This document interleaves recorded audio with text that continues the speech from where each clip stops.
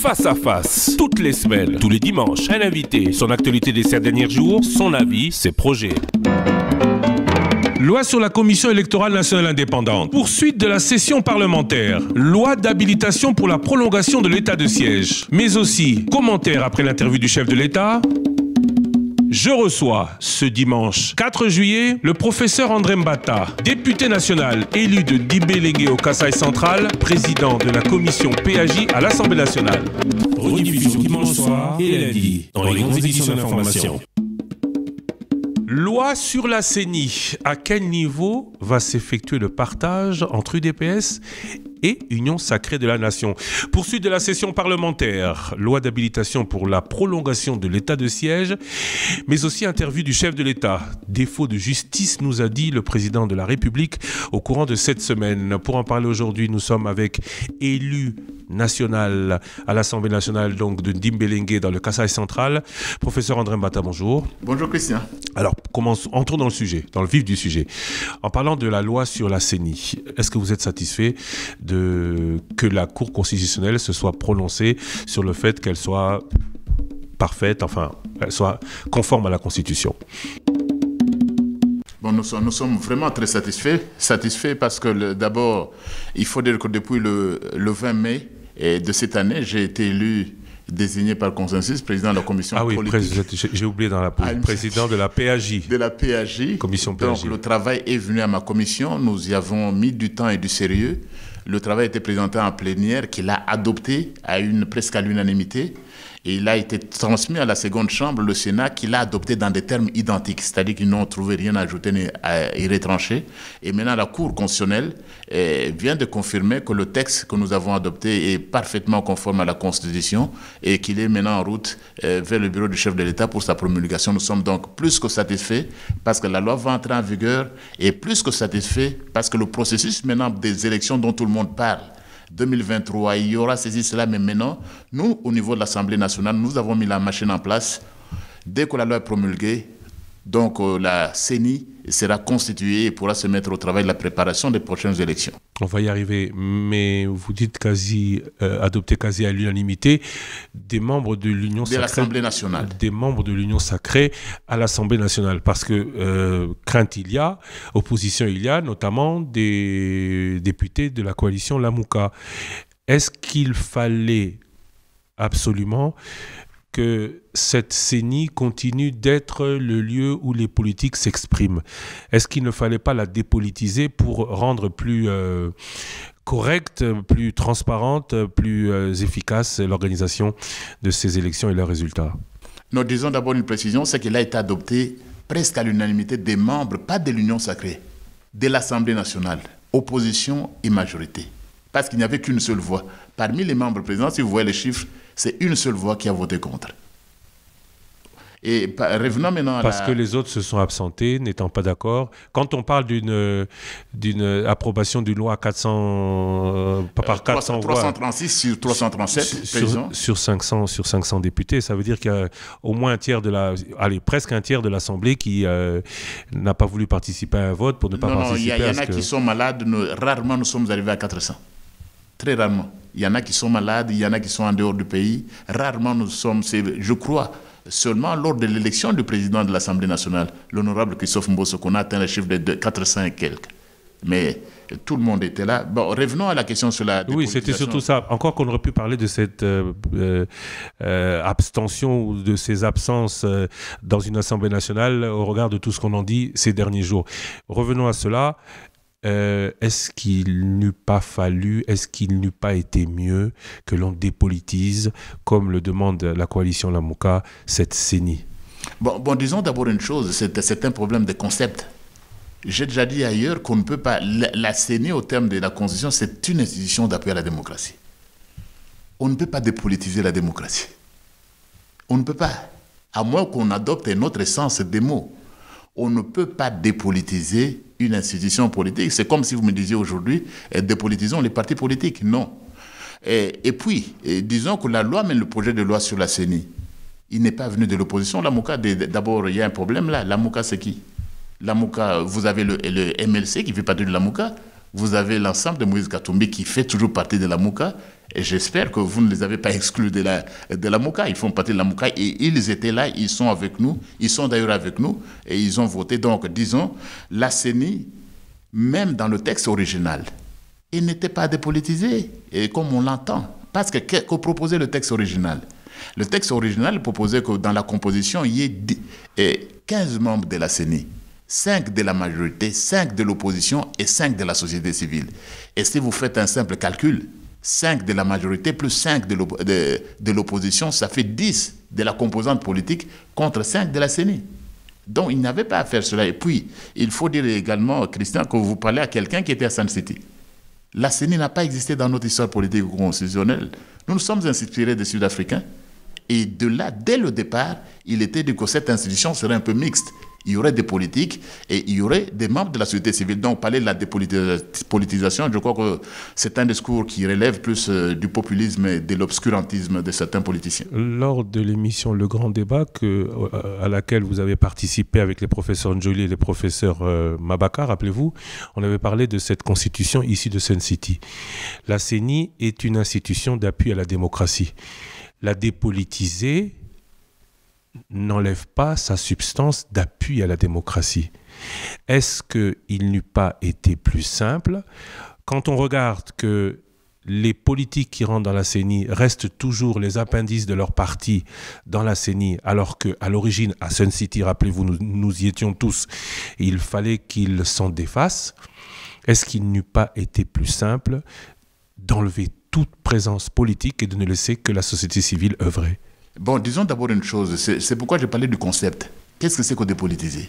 Dépolitiser, c'est retirer toute personne non, c'est une, là, appartenant à des partis politiques, appartenant à des partis, officiellement à des partis politiques. Allez, prenons des exemples de ces grandes démocraties. Dans les grandes démocraties, même si cela relève du ministère de l'Intérieur, l'organisation des élections est confiée à des experts qui ne sont là qu'en tant qu'experts, experts connus, reconnus, dont le seul travail n'a jamais été ou presque jamais été que cela. Aujourd'hui, vous allez choisir, vous, dans vos partis, des personnes euh, qui vont aller euh, commencer une expérience sans rendre peut-être euh, l'organisation des élections plus efficace, mais en tout cas en mettant l'empreinte de leur parti dans cette CENI. Bon, d'abord, une précision. Dépolitiser, ce n'est pas enlever l'empreinte des partis politiques. Je crois que le dictionnaire Robert est clair. Le petit dictionnaire, qu'est-ce que c'est que la politique? La politique, en fait, c'est tout ce qui concerne la bonne marche de la cité. Donc, quand on dit dépolitiser, là, c'est une conception étriquée vraiment de dépolitiser. Mais je comprends comment ils l'entendent. Et une précision aussi, c'est que nous, au niveau de la CNE, lorsqu'on dit que la majorité désigne, l'opposition désigne, il y a des critères de compétence. C'est-à-dire, tous les membres de, de l'Union sacrée ne sont pas à l'Assemblée nationale ni au Sénat. On peut prendre un professeur d'université? Qui est compétent dans le domaine. Mais l'histoire nous a montré que l'histoire nous a montré que c'était pas le cas. Le pasteur Mulunda, l'abbé Malou Malou a acquis beaucoup d'expérience certes. Euh, Corneille Nanga était certes euh, le secrétaire, le le secrétaire national de la CENI, mais on voit bien que ceux qu'on envoie à la CENI, deuxième vice-président, premier vice-président, sont des politiques qui ne connaissent rien à l'origine de la chose électorale. Bon, revenons là-dessus. Disons d'abord qu'au niveau de la loi, nous avons tenu effectivement, c'est que pour une première fois, qu'une personne désignée au niveau de la CENI coupe tous les liens et ça, c'est l'une des nouveautés, parce que des gens sont venus à, vos micros, ils sont allés dans les médias, ils ont multiplié des points de presse euh, pour dire qu'on a déformé la fameuse réforme dont ils parlaient. Non.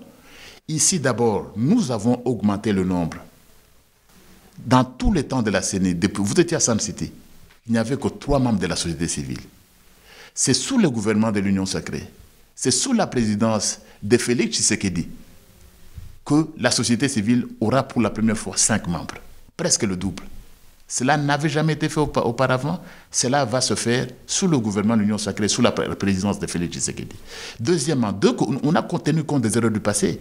On a vu des membres de la CENI après qui continuent à porter des calicots de leurs autorités morales et des t-shirts.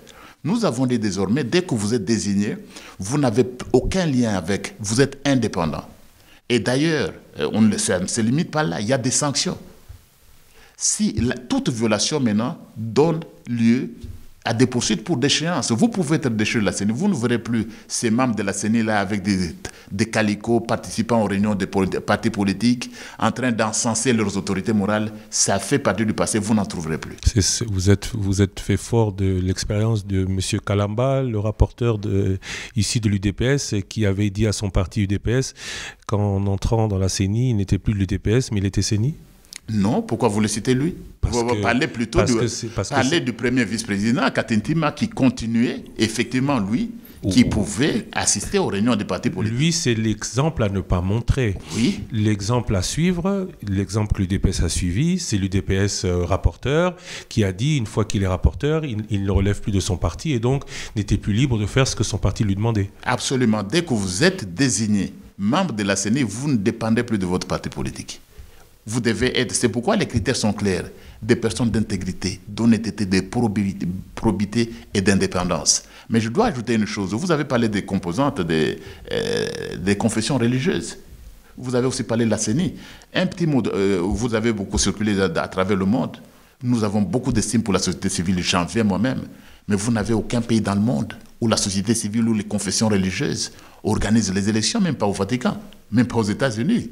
Vous n'avez jamais vu les confessions religieuses en train d'organiser euh, des élections dans un seul pays au monde. Vous êtes contre? Non, je vous dis, je ne sais pas s'il y a quelqu'un qui peut démentir cela, mais nous avons voulu les associer et nous tenons compte de, la société civile et des confessions religieuses. Maintenant, en revenant à, ce niveau-là, donc je tenais à préciser qu'une fois que vous êtes désigné membre de la CENI, vous êtes au service du peuple, vous n'avez plus d'instructions à recevoir. Alors, une grande précision, euh, Christian, vous, vous, savez, on parle trop de réformes dans notre pays. Moi, j'ai toujours dit ceci. Quand les catholiques et les protestants commettent des péchés, ils ne vous disent pas changeons la Bible. Quand les musulmans, ils commettent, euh, ils vont contre la loi de Mahomet, ils ne vous disent pas changeons le Coran. Le problème dans notre pays, c'est que quand vous êtes incapable de vous conformer à un texte, vous courez, vous sautez. Tout de suite, changeons le texte. J'ai dit, il faut d'abord changer les hommes. Le problème n'est pas toujours le texte. Le problème, ce sont les hommes qui doivent les appliquer. Et ça, c'est un... Heureusement que maintenant, on va commencer le processus, que ceux qu'on va désigner comme membres de la CENI soient des personnes qui comprennent leurs fonctions, leur mission et leur rôle qui ne vont pas là comme des ambassadeurs de leur parti politique, ils vont là au service du peuple. Nous, à l'UDPS et à l'Union Sacrée maintenant, nous disons, c'est le peuple d'abord, vous êtes à la CENI, vous allez là pour défendre la démocratie et les intérêts du peuple, les intérêts de l'état des droits dans notre pays. Et qu'ils aient une certaine expérience dans la chose électorale. Est-ce que l'UDPS... Absolument, c'est l'une des conditions qui ont été Est-ce que l'UDPS a des hommes d'expérience dans la chose électorale? Il en a beaucoup. L'UDPS, oui, il en a beaucoup. Ils ont travaillé lors des dernières élections. Ce n'est pas par hasard si l'UDPS, à travers son président, Félix Tshisekedi, a gagné les élections. Nous avions une machine électorale. Nous en avions bien rodé et ces gens-là, eh, ces personnes-là sont disponibles. Donc c'est plutôt eux qu'on retrouvera. On doit s'attendre à retrouver ces gens-là, notamment l'ancien secrétaire général de l'UDPS, qui était le, responsable de votre euh, centre électoral. C'est eux, ce sont ce genre de profil de, que l'UDPS enverra plutôt à cette... Euh, en tout cas, ce profil-là, je ne dis pas évidemment, la personne que vous citez, mon ami, que vous citez, il a la compétence en matière électorale. Mais je dis, c'est ce profil-là, des personnes qui ont une compétence en matière électorale, et il faut ajouter des personnes intègres, des personnes de bonne moralité. Et le président vient d'en parler dans votre dernière interview. Nous ne voulons pas voir des personnes corrompues ou corruptibles au niveau de la, euh, au niveau de la CENI. Pour ceux qui n'avaient pas compris, on parlait de Jacques Machabani. Euh, je vous pose la question pour que demain, on ne soit pas surpris éventuellement de voir l'UDPS désigner quelqu'un qui n'a aucune expérience. Vous nous le confirmez aujourd'hui, l'UDPS ne désignera que des personnes, pas à la solde de, telle ou telle personne, mais bien des personnes d'expérience. En tout cas, l'UDPS, mon parti, qui tient à cela et qui tient aux élections libres et transparentes, l'UDPS, l'Union sacrée de la nation, va tout faire pour ne désigner que des personnes qui répondent au critérium, qui ont une compétence qui soit intègre. Mais une précision aussi sur la loi euh, Christian. Mais la proposition de loi, il n'est pas venu de la composante euh, de la partie de la, de la MOUKA dont, dont vous parliez. La loi sur la CENI, la loi en question. Est, devenu de, est venue de Christophe Lutundula. Elle est venue de Christophe Lutundula, l'un des nôtres. À l'union sacrée de la nation. Ça, c'est une précision. Mais qu'il a déposé quand il était Lamouka. Oui, bon, non, il Attention, non, quand il a déposé cette proposition de loi, il s'en est plaint puisqu'elle a traîné sur le, dans le bureau Oui. de Chaline Mabunda. C'est une proposition du Lamouka, ancienne formule où, euh, quand ils étaient encore ensemble, Christophe Lamouka et Christophe Lutunula. Bon, mais Christophe Kambla ensemble, ensemble est toujours de la Mouka, vous, ils n'ont pas été exclus. Donc il a déposé quand il était ensemble, quand il était la Mouka. Mais il est- il l'a déposé maintenant comme il, fait partie de l'Union sacrée pour la nation. Donc la proposition est venue en fait de nous-mêmes parce que c'est la volonté de, l'Union sacrée de la nation, c'est la volonté du président de la République, c'est notre volonté commune à nous tous que nous allions demain aux, aux élections qui soient beaucoup plus crédibles et qui puissent nous permettre de consolider la démocratie dans notre pays. Six membres de la majorité, quatre de l'opposition, cinq de la société civile. Parlons des six. Vous êtes de la majorité. Euh, quelle sera la part des uns et des autres? Est-ce que vous en avez déjà parlé, puisqu'on parle de désignation déjà la semaine prochaine? Ou est-ce que vous allez maintenant seulement commencer les négociations pour euh, savoir qui, dans l'Union sacrée, aura tel ou tel nombre de sièges? Je crois que chacun, nous, en tout cas au niveau de l'UDPS, nous avons des compétences et nous avons des ambitions, mais pour être beaucoup plus euh, conforme à la loi, nous attendons, dès que le président de la République euh, va promulguer la loi, nous allons tout de suite nous réunir, d'abord au niveau du parti et puis au niveau de l'Union sacrée de la nation, pour désigner nos six membres. Mais ne vous en faites pas, l'Union sacrée de la nation va se conformer et désigner ses six membres. Non, Quand je parlais des six membres, bien que c'est bien clair que c'est les six membres de l'Union sacrée de la nation. Six membres de l'Union sacrée de la nation. Combien l'UDPS euh, espère en avoir dans ces six? Bon, ça, je ne peux pas encore, le, je ne peux pas encore vous le dire. Nous il a, attendons. il y a bien un Il y a minimum. plusieurs plateformes. Il y a mais bien je un crois- minimum. Je crois que nous aurons un membre. Je crois minimum un- un- je maximum crois un membre. nous aurons un membre. L'UDPS n'est pas toujours très, très arrogante. L'UDPS lâche. Et nous pouvons seulement avoir un seul, un seul membre. Qui pourrait être Jacques Machabani. Et qui pourrait être, euh, ce n'est pas exclu. Ce n'est pas exclu. Ou qui pourrait être aussi une autre personne. L'Assemblée nationale décide de poursuivre sa session. La Cour constitutionnelle a pourtant dit que non. Qui viole qui?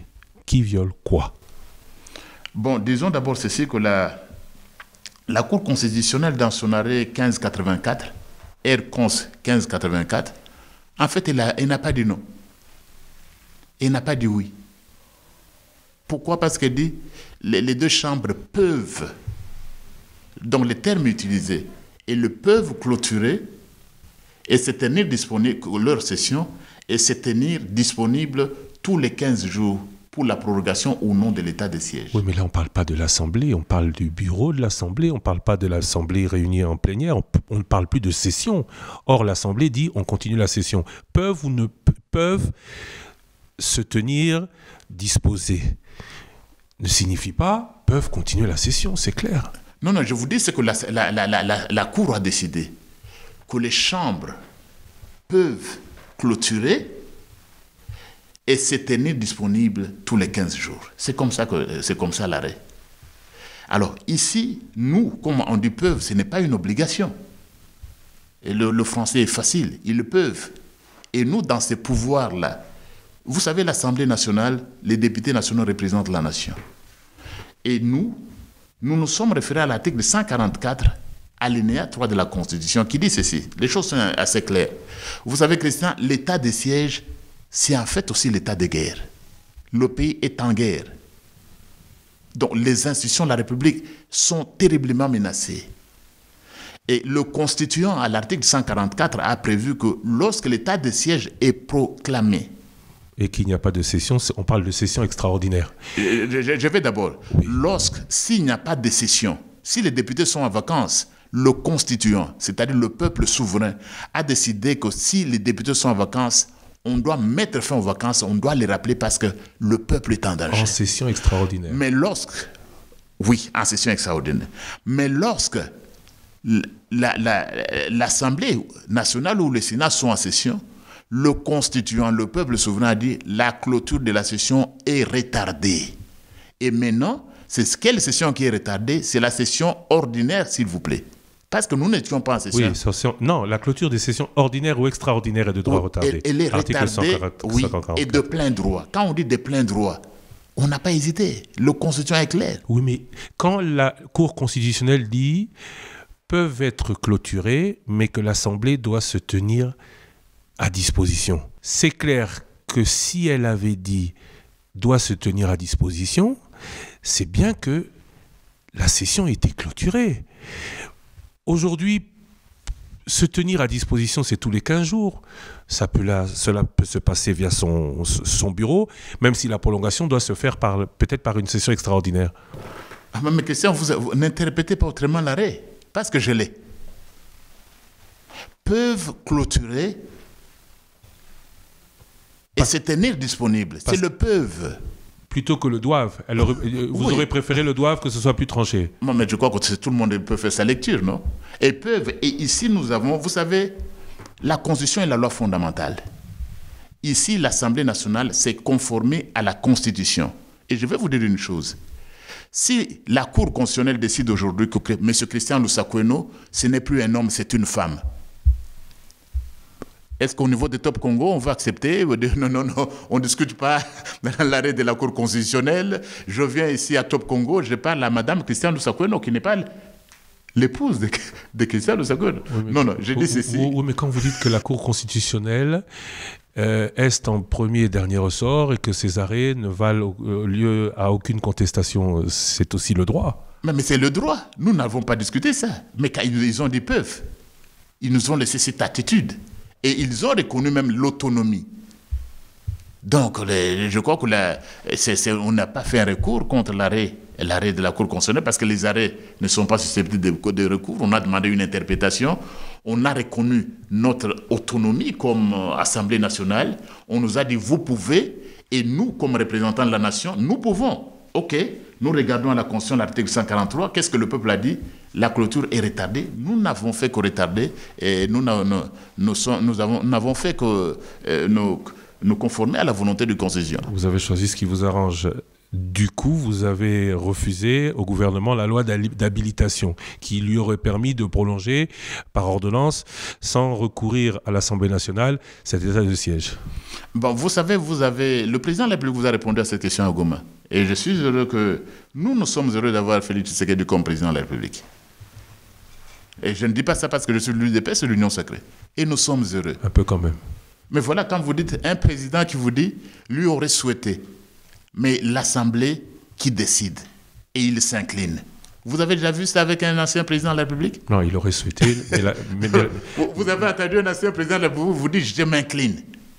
Et puis, euh, plus tard, quand il va parler de la Cour euh, du pouvoir judiciaire, il vous dit qu'il aurait souhaité, mais il ne va pas se mettre à leur place. On va commenter. C'est la séparation des pouvoirs. Oui, ça on a bien compris. On va commenter tout à l'heure les propos du président de la République, mais retour sur cette loi d'habilitation. Ici, nous nous sommes dit ceci. J'explique. La loi d'habilitation est prévue par l'article 129 de la Constitution. Et les gens ont dit sinon, le Félix Tshisekedi, président de la République, a échoué. Mais moi, je dis, il faut lire la Constitution. La, la loi, le, gouvernement peut, pour l'exécution urgente de son programme d'action, demander à l'Assemblée nationale ou au Sénat l'autorisation de prendre par ordonnance loi pendant un délai limité et sur des matières déterminées des mesures qui sont normalement du domaine de la loi. Vous Donc voilà, c'est lui qui demande. Le président de la République a souhaité, mais c'est lui qui demande. C'est le gouvernement. Le président n'est pas du gouvernement. Le gouvernement est conseil du Premier ministre, des vice-premiers ministres, des ministres d'État. attention, mais ces ordonnances-lois sont délibérées en Conseil des ministres, donc euh, auquel Conseil des ministres participe le gouvernement. Alors, préside le, gouvernement, le, président de la République. Donc ici, dans la théorie de la séparation des pouvoirs, et ça, le président l'a compris en bon démocrate. C'est-à-dire, l'habilitation, c'est généralement quand le Parlement est en vacances. Il vous donne ses pouvoirs et je vous ai dit, c'est un cas exceptionnel parce que ça peut se, ça peut, euh, on, peut, on peut se rapprocher d'une dictature. Parce que là, il n'y a plus de séparation de pouvoir. C'est l'exécutif, il prend les lois, il les exécute. Attendez, sur une matière bien déterminée. Sur, oui, sur ces matières-là. Sur une matière bien déterminée et pendant un délai limité, oui. oui. même en France, c'est comme ça. Non, mais quand on voit que le président de la République nous a dit, puisque vous parlez de l'interview du président de la République, que cela va prendre du temps, est-ce que tous les 15 jours, les députés vont se réunir. Quand on sait ce que cela coûte, parce que cela coûte de l'argent une session coûte de l'argent, une, une, plénière coûte de l'argent, les, les, les, députés ont des droits de lecture, ont des, des, droits de ceci, des droits de cela, ils peuvent dire non, ils peuvent menacer. Donc, est-ce que c'était pas plus simple de permettre, euh, sur ce, sur ce sujet-là, que le gouvernement euh, puisse euh, légiférer par ordonnance? Non, je crois que les députés, d'abord, n'ont pas les droits de lecture quand le texte vient. Ils n'ont pas le droit de lecture.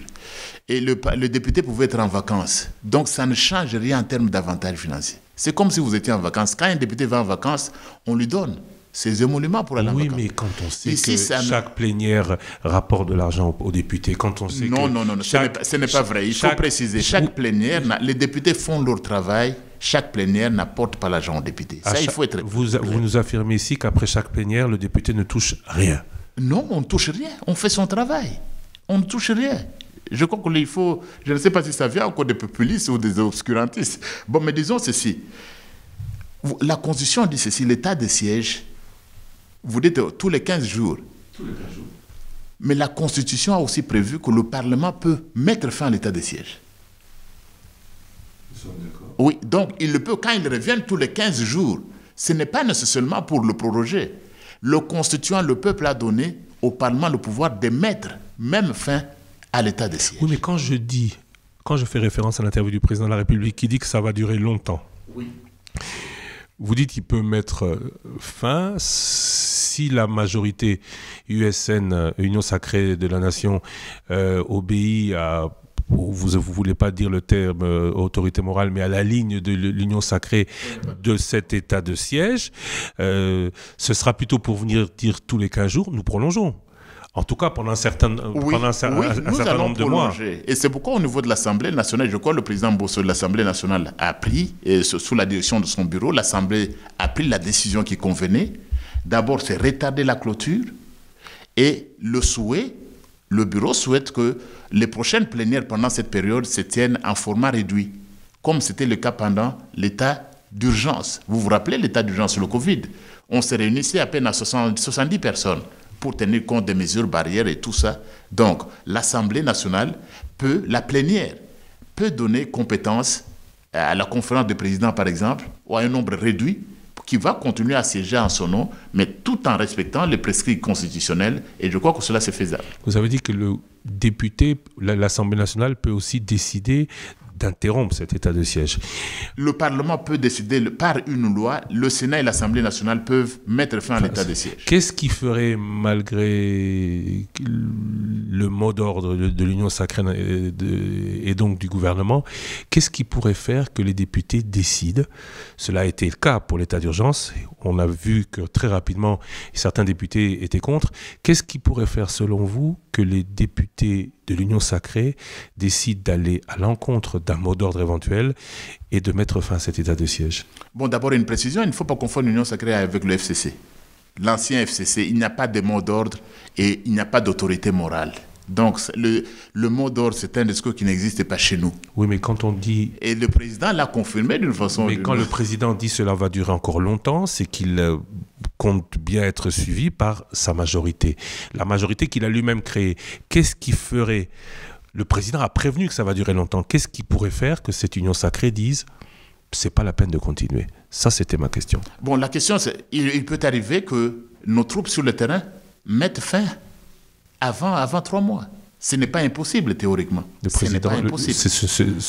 C'est pas ce que le président a, semblé dire. Oh, euh, oui, ça c'est ce que le président a semblé dire. Mais, il peut arriver qu'à un moment donné, il y ait des redditions, la paix revienne dans les trois mois. Eh bien, ça, on n'en aura plus besoin. Avant que le, il faudra que le, que le gouvernement aille à l'Assemblée nationale pour ça, ou le gouvernement s'en sera lui-même rendu compte et aura mis fin lui-même à, cet état de siège? Le gouvernement peut demander tout comme l'Assemblée nationale, lorsque le, le, gouvernement va se présenter à nouveau, il va dire on n'en a plus besoin parce que la paix est revenue. Ma question, Mais on n'en est pas encore là. Ma question, c'était alors que le gouvernement va demander une prolongation, qu'est-ce qui pourrait faire que les députés disent non? Bon, on est dans une hypothèse qui n'est pas encore venue parce qu'à ce moment précis, tous les députés soutiennent l'état de siège. Et ici, je crois que les médias n'en ont pas souvent parlé. Beaucoup de gens posent euh, des questions sur l'état de siège. Mais les gens ne se demandent pas pourquoi il a fallu attendre seulement Félix Tshisekedi pour déclarer l'état de siège. Ça, ça n'a pas beaucoup attiré les médias. Parce que c'est une solution constitutionnelle. Les gens se plaignaient de l'insécurité à l'Est, des troubles à Béni, des, des meurtres, des assassinats dans la partie Est du pays. On s'est plaint pendant 20 ans. Et pourtant, la Constitution avait prévu une solution. Il fallait d'abord apprécier cette mesure de l'état de siège à sa juste valeur. À l'état actuel des choses, nous de l'Union sacrée de la nation, et pas seulement l'Union sacrée de la nation, toutes les forces maintenant, et l'opposition et la majorité, nous soutenons l'état de siège. Nous voulons définitivement mettre un terme à l'insécurité dans la partie est de notre pays parce qu'il nous faut la paix, il nous faut la sécurité pour bâtir ce pays. Parlons de l'interview du chef de l'État. Il a parlé de défaut de justice. Le président se plaint de son mauvais fonctionnement. L'état de droit que l'UDPS réclame depuis longtemps, deux ans et demi après, n'est toujours pas en marche. Moi, j'ai suivi le président a employé des termes durs. C'est regrettable. Est-ce que c'était à lui à dire d'abord?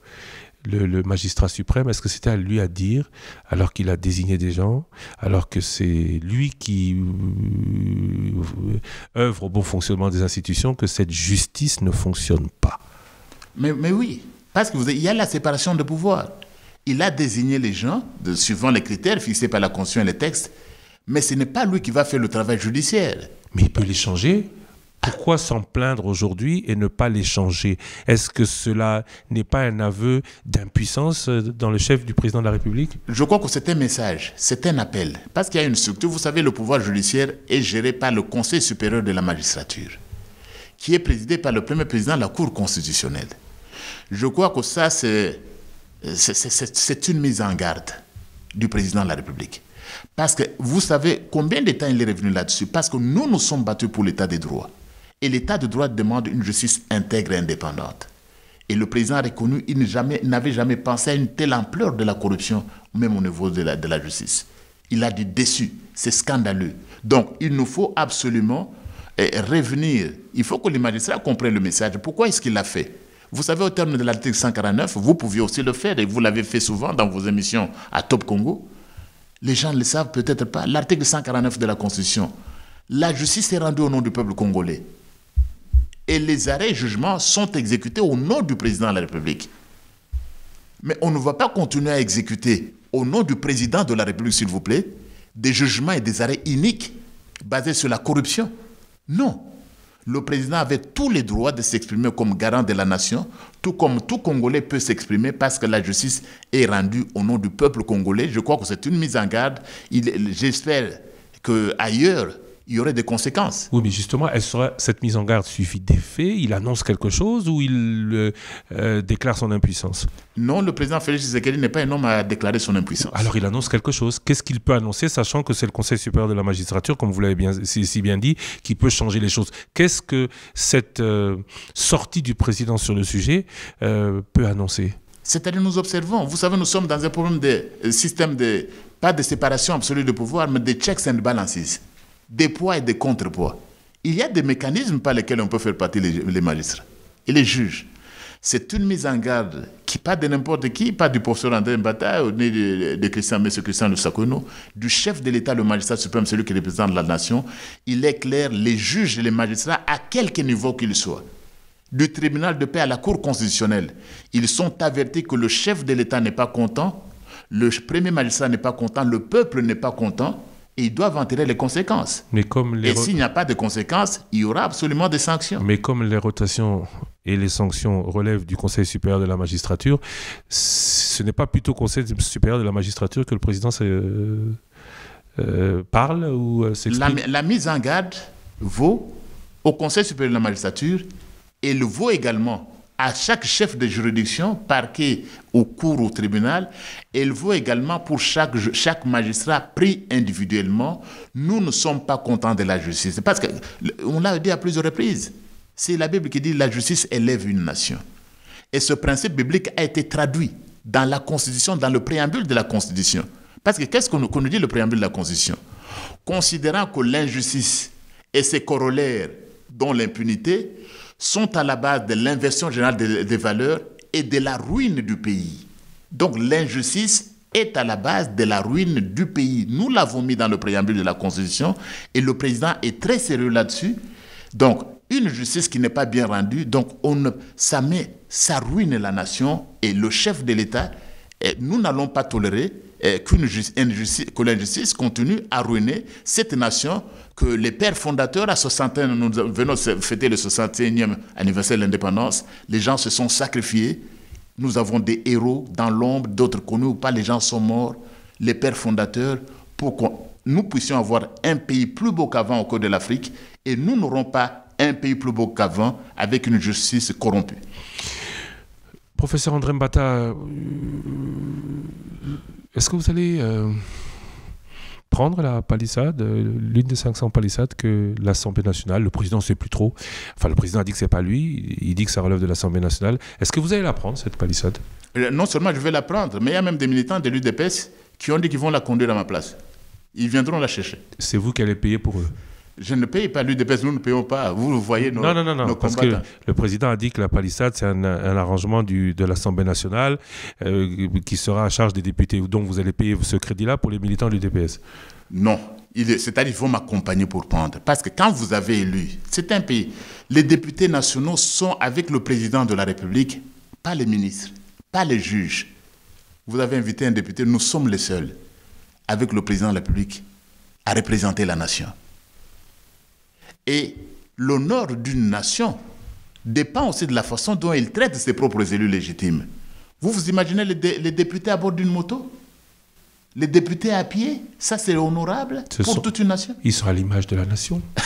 Certains vous diront ils sont à l'image de la nation. Une nation qui manque d'ambulance, ceux qui manquent ceci, manquent cela. Va. 500 euh, euh, palissades, euh, aurait dit Thomas Sankara, c'est 1000 tracteurs. Je, vais vous dire ceci. Sur les palissades, d'abord, on, on ne voit pas pourquoi ça fait un débat. Bah, ça fait débat aujourd'hui. Pourquoi D'abord, et c'est vous. Le président, chaque, chaque chambre a une autonomie. C'est l'article 100 de la Constitution. Une autonomie administrative et financière. C'est l'article 100. Et moi, en tant que président de la PAG, j'ai vu le document. C'est au nom de cette autonomie que l'Assemblée nationale a fait est engagée dans ce, dans, euh, dans ce montage. J'ai vu le, parce que les gens en parlent. Et ça vient de moi, j'ai le document comme président de la PAG. Et je dois dire aussi une chose. Toutes les législatures depuis 2006, on a toujours eu des, voitures. Toutes les législatures. Sauf, et parfois même, on en a eu deux. Au cours d'une seule législature, vous entrez, vous avez une législature, une voiture, vous sortez, vous en avez une autre. Ça n'avait jamais fait débat. Et la palissade qui vient, et vous l'avez lu, le Top Congo a eu. Vous faites beaucoup de recherches à Top Congo, vous êtes même tombé sur les informations qui viennent de la Corée. Ce qui est publié par Herald euh, en Corée pour dire que c'était, c'était déjà fait au mois de mai, on n'en parlait pas. Est-ce qu'on attendait Top Congo pour ça? Non. Mais c'est peut-être la sortie du président de l'Assemblée nationale qui a, fait, qui, qui, a, qui a suscité ce débat. Euh, une euh, palissade, à l'époque, considérée comme cadeau à ceux qui avaient accepté de changer de, de majorité euh, pour soutenir le président. Non, non, ça n'a jamais été de conditionnalité. D'ailleurs, les palissades, on les donne à tous les députés. Le président, on les donne à tous les députés, tout le monde pas pour les mettre. Et le président, nous sommes l'union sacrée de la nation. Nous avons un président plus transparent. Et quand Félix Tshisekedi, le président de la République, vous parle, il vous dit sincèrement, du fond du cœur, c'est un homme honnête. Et nous sommes heureux de l'avoir.